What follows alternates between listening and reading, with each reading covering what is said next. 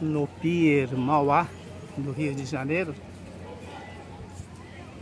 O primeiro veleiro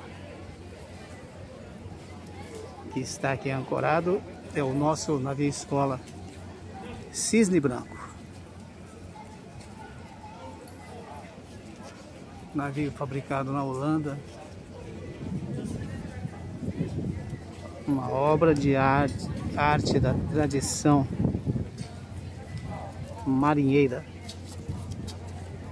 de todo mundo. Lá adiante estão os outros seis veleiros, sendo sete no total. E vão girar por todos os países banhados pelo mar aqui na América Latina. Muito bom mesmo, hein?